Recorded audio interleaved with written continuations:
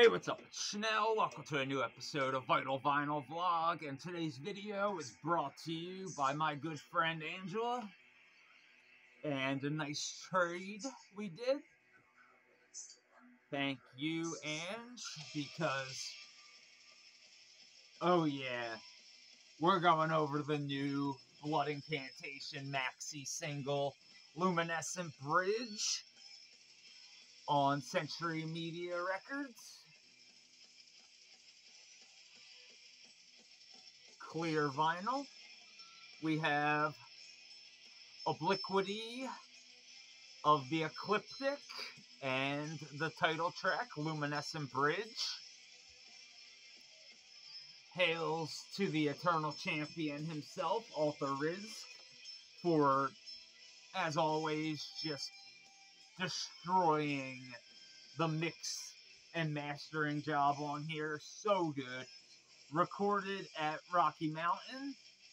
Recorders by Chris uh, McNaughton. I hope I said that correctly. Special thanks to Alex Pace and James Grau. Paintings by Steve R. Dodd, and the layout is by Telepath Design.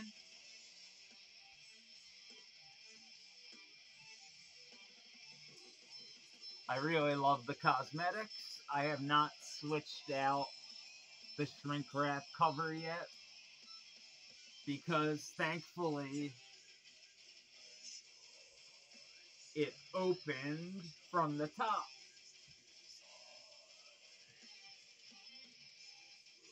So the title track on side two, Luminescent Bridge, 9 minutes and 39 seconds and Obliquity is 8 minutes and 53 seconds. And this is one of my favorite Blood Incantation songs they've ever written.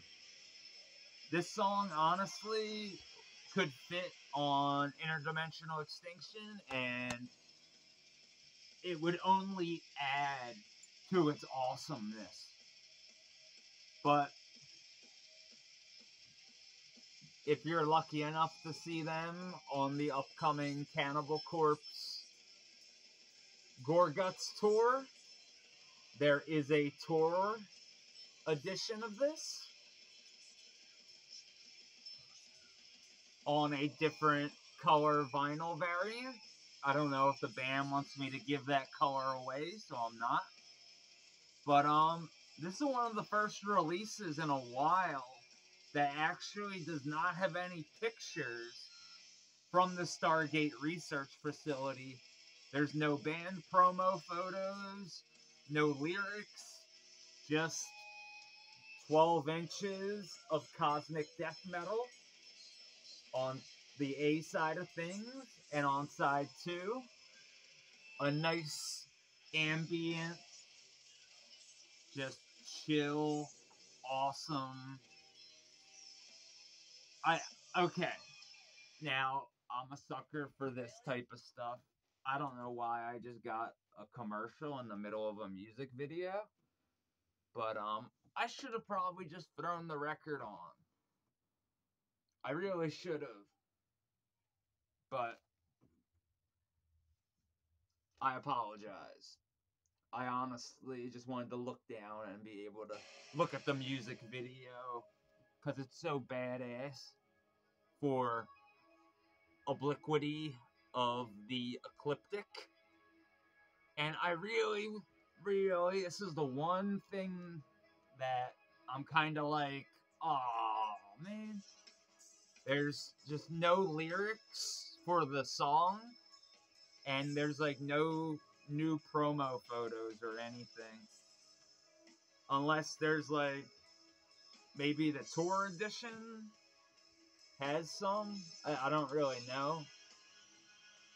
But I'm going to ask for the lyrics because I've deciphered some of them.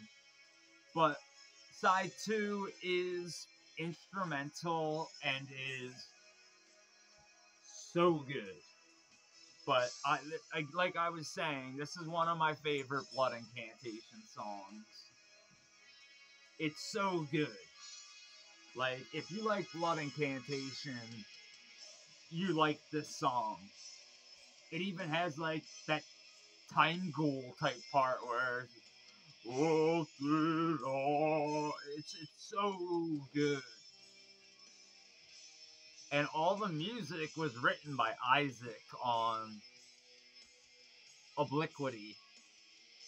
And the lyrics by Paul. And Luminescent Bridge, the music was written by both Jeff and Morris. Recorded at Rocky Mountain. Recorders by Chris McNaughton. Sorry if I mispronounce anybody's name, but mixed and mastered at Redwood Studios by the eternal champion himself, Arthur Rizk. And just paintings by Steve R. Dodd or Dodd. I really need to get this long sleeve. And I need to get rid of I cannot stand. you folks know how I feel about shrink wrap because I'm all out of vinyl sleeves. So even my copy of Dawn of Possession right now, it just has to sit very nicely next to me. Because it also gets played a lot, so. But this was the first release in a while that it's just straight Century Media although it is licensed by the Stargate Research Society, there's just no photos or anything. Like,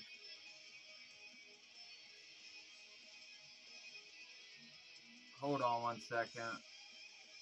For some reason, my Time Wave Zero sticker is on my live vitrification LP, and that's not good. How the hell did that happen?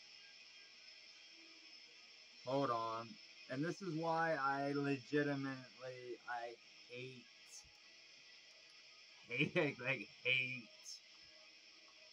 straight up, like, shrink wrap covers. But now I'm to turn the title track on and hopefully there's not a commercial.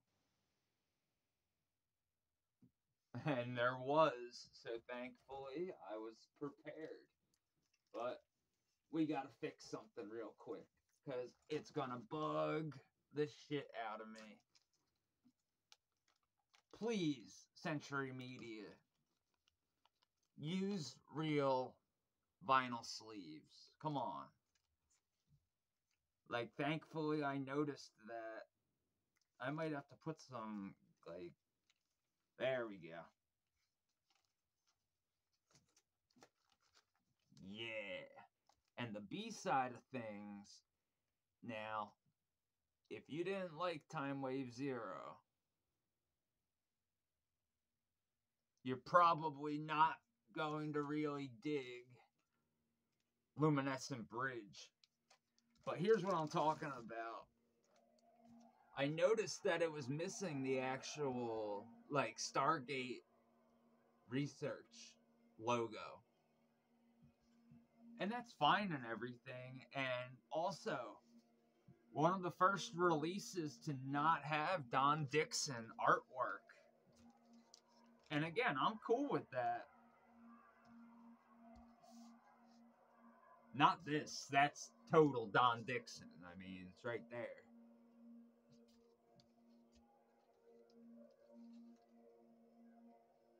I'm trying to think off the top of my head.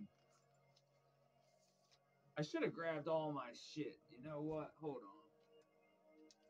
I'm just gonna grab the uh, picture disc real fast, just so I can get to the bottom of something, because it's just gonna bother me. And in case you do not know, this was limited to a thousand. This is honestly like my vinyl go to copy because I just don't really like playing my first press. I know that sounds corny, but like I just kind of don't. I normally listen to it on cassette more than anything. But um paintings by Don Dixon. I I I knew I knew it. But again, just let me real quick check everything. But I, I'm so sick.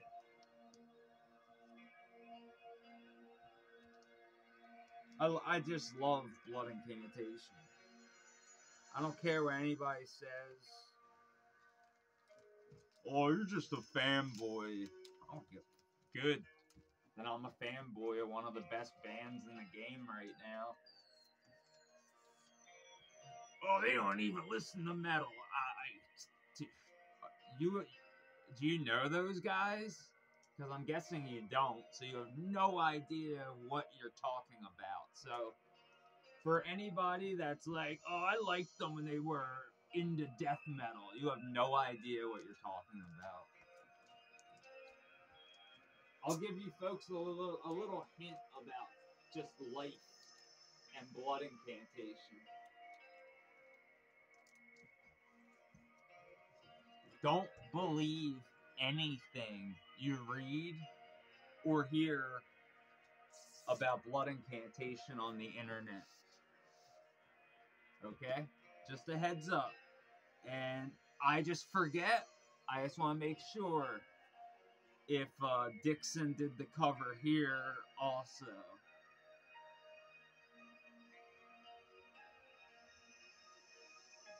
Bruce Pennington, and Pennington did this bad boy also. So sick. All right, I knew I, I got the names confused. Don Dixon and Bruce Pennington, both really amazing artists from the time period and stuff. I love this painting. Hidden history.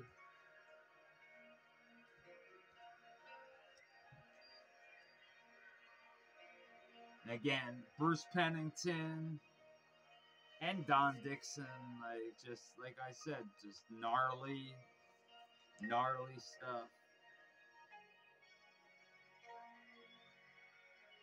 And I don't, again, I understand not everybody's into the whole ambient thing, but like, wow. As soon as I heard this track, I legit like wished it was longer I, I was like, oh my goodness, I can't wait to hear, you know, what else is in the bag. Like, seriously, I can't wait for the next record. It's gonna be just ridiculous. But also, Spectral Voice. I'm really hoping we get a new Spectral Voice record this year don't really know, but like I'm just hoping. But yeah, Don Dixon, Bruce Pennington, awesome sci-fi influenced artwork. And then on Luminescent Bridge, we now have Steve R Dodd to the equation. Sorry, I'm just having some problems as always with bullshit, which I fixed. No, I did not. now I fixed it. There we go.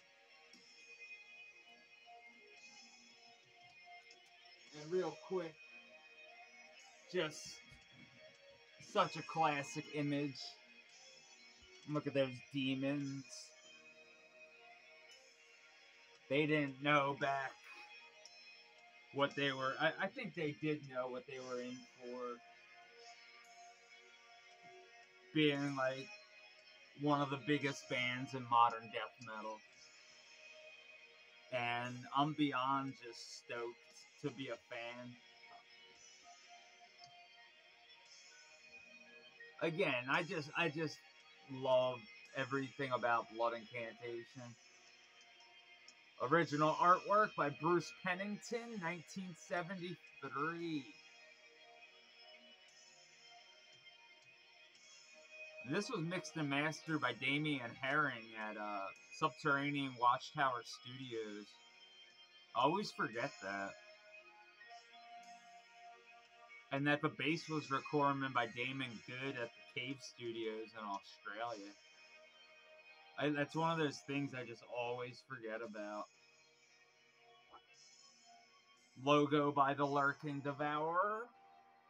Sometimes it's good to always go back and read some cosmic echoes of the underground. And you see, recorded in Boulder, Colorado, July 2013. It's just gnarly when you go back now and look at it like, holy shit, this is like 10 years old? Wait. Oh my. Holy shit. And like the fifth tablet is hovering lifeless, subter. Oh my goodness. Interdimensional extinction only just gets better and better. And same with Lum- like Luminescent Bridge. Again, the more I've been listening to this, like kind of in a row, like I'll start with the the demo, and then split seven inch, interdimensional extinction, star spawn, live vitrification Hidden History of the Human Race, Time Wave Zero, and now Luminescent Bridge.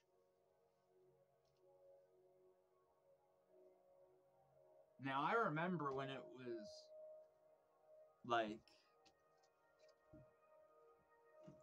getting known as getting your tangerine dream on when going outside of the usual metal box and doing something along these lines of ambience, quiet, and just making shit sound like it's from the 1970s.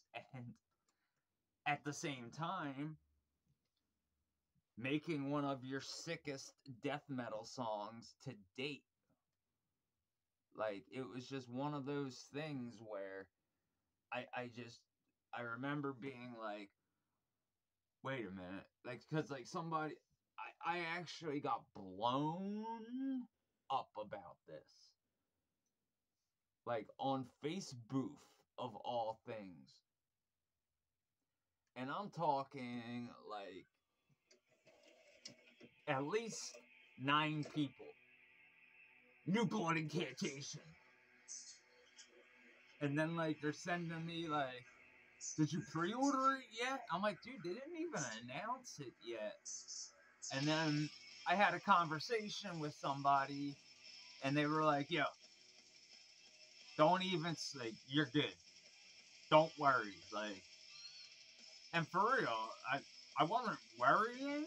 I just was like getting kind of frustrated with like people that don't understand, like, yo, I don't have a real job type job. I can't just be like, yeah, I want this now. Like, I had to figure out a trade and stuff. And, you know, the patron helps so much, but that's a once a month thing. And the prize package, don't forget, this is no joke this month. I not playing games.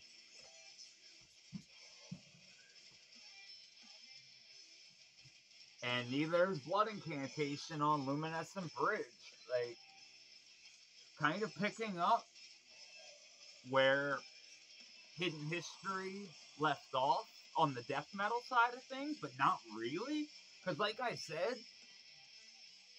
this really reminds me of something that could be on interdimensional extinction. Or Star Spawn. Even Hidden History of the Human Race. But it gave me more of a interdimensional extinction vibe. I don't know if that's what they were going for. But I really, I'm like in love with the artwork.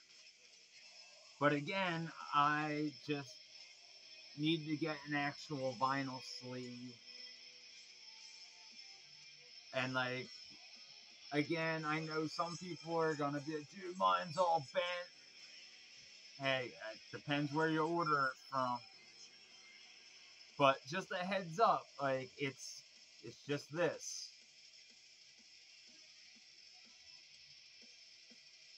Cause I think this still came to like thirty dollars. And again, I know that's a lot of money. It really is for just like two tracks. But the way I look at it, it as a fan, I want to support the boys, especially before tour, and a tour that's not coming to Philly, which sucks because I haven't seen Cannibal Corpse in years, and I would love to see Cannibal again. And these things happen, but highly recommended. I mean, I I know the songs are on YouTube, but on the turntable, it's amazing. Like Blood Incantation have only been getting better with age. And Luminescent Bridge is just such a great example of that. But it doesn't even look fucking death metal. Well, no, it doesn't. But Obliquity of the Ecliptic, this is one of the best death metal songs of 2023. And I'm not just saying that. If I thought this was even mediocre, I would say it's a, it's okay. It's Blood Incantation. It's still better than, you know, the Duke Tomb Mold. But, like, these two songs speak to me way more than a bunch of just, like, I don't even know what Tomb Mold's doing, and I don't really care. I, I'll, I'll stick to Blood Incantation when it comes to just, like, being technical and interesting. Because to me, that's what's so special about Blood Incantation. It's interesting.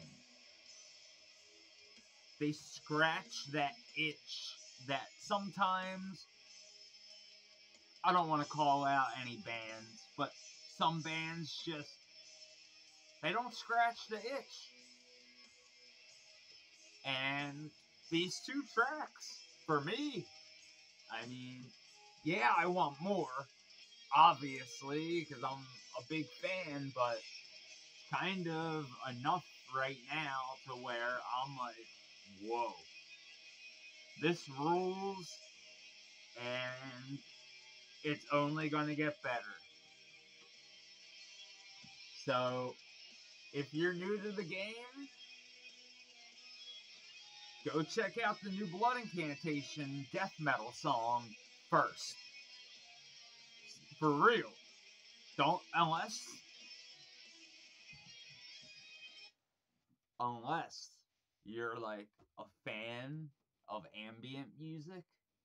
Otherwise, maybe, you know, start your way backwards. Start with Luminescent Bridge and then go to a black oh, my goodness i knew i was gonna stutter something up but like it's up to you really how you listen to this bad boy because i listened to it ambient into the death metal track and i was like whoa like that was cool and then i actually like synced up the music video with, with the LP because I'm a nerd like that and just watched it that way. Just nerd. I, I, I'm sorry, I'm a nerd like that, but uh, I'm just happy that we have some new blood incantation material for 2023. And again, I know it's only two songs. I know it's kind of expensive, but if you get to see the boys on the road with Cannibal Corpse, grab a tour copy.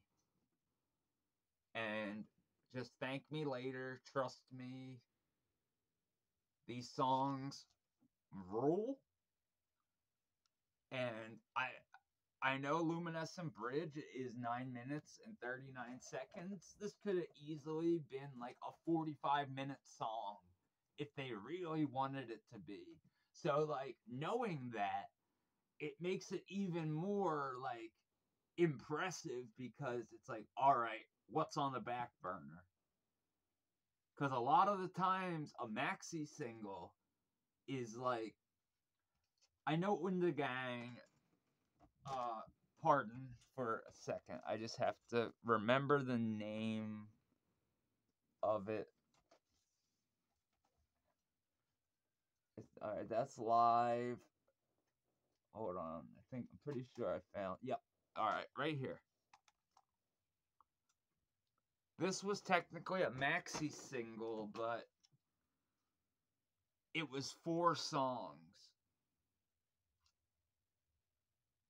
And well, technically three, and then a live track of Inherent Off Duden, which is oh, like one of my favorite Undergang songs.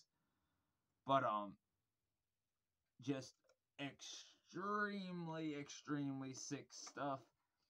Like just I do not have the 12 inch of this. This is one of the few Undergang releases I don't have, and like uh, Grip of Insanity is a cover, so technically, yeah, it's two tracks, a cover, and a live track. I forgot, so yeah, it is a maxi single. I was gonna say, wait, I swore this had four tracks, and it does. So you can call it an EP, but technically, they earned that maxi single sticker. And thank you for putting the actual RPM on the on the record. That again, like shit like that, as stupid as it is, I don't think you folks know. I'm sure some of you know. You ever get a record and you legit don't know what speed it's supposed to be played on. And like you end up listening to it a certain way. And then somebody comes over and they're like, yo, what are you listening to? And then you tell them and they're like, yo, you have it on the wrong speed. And then you put it on the right speed and it's like, oh. Fuck. Like I feel like an idiot. I forget what band it was. I oh my I, I legit thought it was the heaviest thing I had ever heard in my life. And then I figured, oh wait a minute, you're playing it at the wrong speed. And then it was like just regular. And I was like, oh, like it's it's not as like ridiculous as it I wish I could remember. Cause I accidentally put like uh a 30 uh, a 45 at 33 and it was like funeral doom. And it was, just like dude like it, it was so much slower and heavier than like just the regular mix that I actually was like dude this is like the heaviest thing I've ever heard and then I realized my mistake when my friend was like, "Yo, like that's not how the CD sounds," and I was like, "Wait, what?" And then like, yeah, I realized like I I, I fucked up. I was like, ooh, like, yeah, I screwed up. But hails to Blood Incantation, and thank you to Angela for making today's video possible. Thank you to Paul for um, letting me know to just uh, not worry about this, and that, you know, he was absolutely right. He's like, dude, we didn't even announce it yet. Copies are going to be available. Don't stress. Although I didn't mention like anything about the Cold as Life reissues because they don't. He that's its own thing. Because I mean, shit. Like, I really hope that October second thing is not real. Like I, I and I that sounds so stupid, but um supposedly everything like the reissues stop being sold October 2nd. I do not get paid by the Patreon until the 5th. So if that happens, no. So let's hope that does not happen. So Hopefully, we can pre order those Cold as Life records, but in the meantime, I'll be traveling the cosmos with Blood Incantation on Luminescent Bridge. Two tracks, one of cosmic heavy death metal with a nice little ambient technical section, and a straight up ambient chill track with percussion, and it's so good. Because again, I'm a sucker for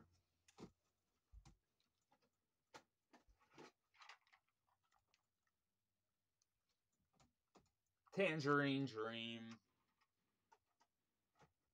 I can go on and on, but we're not. Y- you get it. But Blood Incantation, if you're looking for the straight up death metal, Interdimensional Extinction and Starspawn have you covered. If you want a little bit more technicality, Hidden History, if you want to just space out, eat some fungi, and just, you know, go to space in your mind Timewave Zero. And then Luminescent Bridge is a great, like, come down. Because you can throw on the first track, get a little dose of death metal, and be like, all right, like, I'm feeling good. And then, you know, you dive in into Luminescent Bridge, and it's just like, you can get your float on and work your way back down from timewave zero. See? Because you, you start, well, depending on your collection, but start with interdimensional extinction and just work your way to luminescent bridge. Or start at luminescent bridge and work your way to interdimensional extinction. I think it's an interesting journey either way, and you're going to get a hefty dose of killer cosmic death metal and ambience. And for those of you that didn't see this coming, I'm sorry, but like you must not have been paying attention. And I know a lot of people, dude, did you see their in their bag video from Amoeba? Yeah. I'm sitting there with a pen and paper writing down every single record that like Paul grabbed, Morris grabbed, Jeff grabbed. Isaac was like the only one that kind of grabbed some like normal like death metal. Everybody else was you know, getting like some gnarly shit. Like especially Paul getting the new rest in power to uh, Klaus Schultz, but getting the new Klaus Schultz record, it was just like I, I just remember being like, wow, dude, that's so sick. And like just the Karma Moffett records, because again, if it wasn't for uh, Paul letting me know about like Morning Trip through that What's in My Bag video, I wouldn't have two of my favorite records to just chill out to. So, thank you for having an open mind musically. Cause like even like, you know, again, I'm a big I'm a mark for this type of stuff. So I know some of you are like, well, of course you're gonna fucking like it. Well, that's not true. If I didn't like it, I legit would 120%, just like the Donner Party, I would tell you, like, ah, it's kind of boof. You don't need this in your life. Where, if you're a Blood Incantation fan, uh, yeah. Luminescent Bridge. Again, like I said, uh, Obliquity is like one of my favorite Blood Incantation songs. Like, ever since that music video dropped, I've watched it at least four times a day. And having it physically, holy shit. But I'm going to shut up. I did not mean for this to go on this long. Listen to Blood Incantation Luminescent Bridge and let me know in the comments below if you liked the death metal track more than the ambient track. Because I'm sure most of you probably are going to like the death metal track a little bit more. They're both really good, but there's something about that death metal track that I just, as soon as I heard it, I was like, wow. And I hope you feel the same way. So thank you again to Angela. Thank you to the Patreon. Thank you to the people that let me know about this release a little bit in advance, even before the band announced it. But at the same time, you gotta chill with that when it comes to that type of stuff. Like, somebody dropped the ball early again at Century Media. It happens, but like, I don't think this was supposed to be announced a few days later. Because, like, pre orders started September 13th and it wasn't even announced until like the 15th if i remember like so it was kind of a weird release but very happy and boom i didn't really think i'd well i was talking to pat about a new blood incantation and what it might be and we were kind of thinking, and i honestly i was like i have I'm thinking another spectral voice split, like the way that Anatomia and Undergang did too. I was kind of thinking, I was like, it'd be kind of cool, but I want that new spectral voice album. You see where I'm like, you get, you know what I mean? So I kind of, I, I get it a hundred percent, but also getting the chance to do a maxi single like that's a, that, again that's something i want under my belt.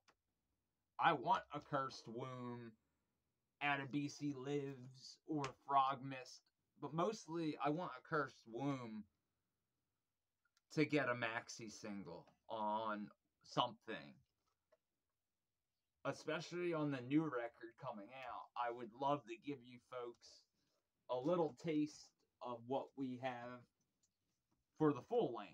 So, thanks for watching as always, you fucking rule. Listen to Blood Incantation. Maybe you'll live forever. Hails.